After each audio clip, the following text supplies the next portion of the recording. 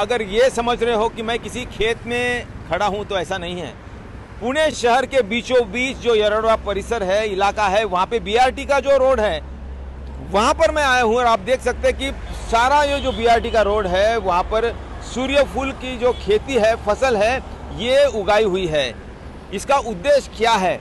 अगर किसी किसान ने ये खेती की होती तो उसे प्रति एकड़ आठ से नौ क्विंटल इतनी इतना सूर्यफूल इतनी सूर्यफूल की फ़सल मिली होती और आज सूर्यफूल का अगर हम भाव देखें तो साढ़े चार से पाँच हज़ार प्रति क्विंटल, यानी लाखों की कमाई ऐसे इस सड़क के बीच में जो जगह है, वहाँ पर खेती करके किसी भी किसान को मिल सकती थी।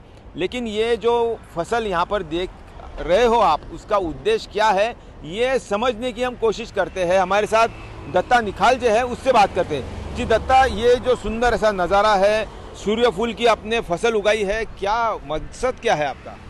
आ, मकसद तो रोड को सुशोभीकरण करना ही है। पुणे महानगर पालिका ने हमारे कंपनी को बीओटी तत्वों के ऊपर दिया हुआ है। तो इसमें क्या है कि रोड की खूबसूरती भी बढ़ती है और जब कोई ट्रैफ़िक में या कोई बारिश में कभी ट्रैफ़िक हो जाती है तो लोगों का इसको देख के ज़रा थोड़ा सा आनंद भी आता है उनको। बच्चों को भी आनंद आता है इसमें। और फूल में जब सीड्स भरना चालू हो गए तो सीड्स भरने के बाद में जो हमारे स्थानिक पंछी है, उनके लिए बहुत सारा अच्छा खाना मिल सकता है।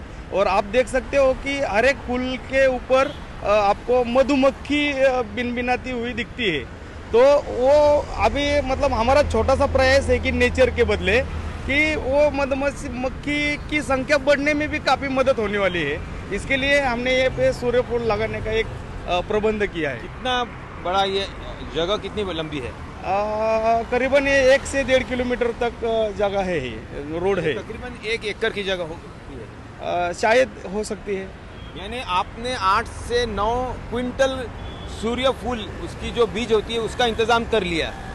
बिल्कुल कह सकते हो। और बाज़ार में अगर बेच दिया तो लाखों रुपए भी मिल सकते हैं। बाज़ार में हर एक चीज़ बाज़ार में बेची नहीं जाती है। हर एक चीज़ अब रोड पे लगाया है। तो सीमेंट कंक्रीट के जंगल में आपने आप ही बताते हो कि सीमेंट कंक्रीट के जंगल में पंछियों को कुछ खाने को नहीं मिलता है। इसके लिए एक पंछियों को खाने की एक अच्छी कोशिश हमने हमारे लुंकड़ रियलिटी ग्रुप से की हुई है।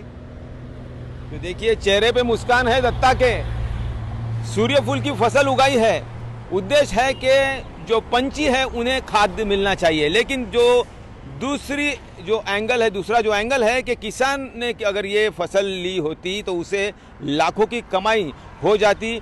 जो नज़ारा है, वो बहुत ही सुंदर सा है। पूरे डेढ़ किलोमीटर में सिर्फ़ सूर्यफूल ही सूर्यफूल दिखाई देते हैं।